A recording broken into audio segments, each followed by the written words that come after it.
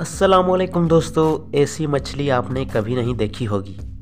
जी हाँ दोस्तों, इसका नाम है एक्जोलोटल और ये मछली आपने पहले अपनी ज़िंदगी में कभी भी नहीं देखी होगी। वैसे तो ये एक मछली है, लेकिन इसे मैक्सिकन की जाता है। ये देखने में जैसे कि कोई फॉर्म की गुड़िया हो। दोस्तों, अगर ये वीडियो आपको पसंद आई है तो वीडियो को लाइक और हमारे चैनल को सब्सक्राइब करना ना भूलें।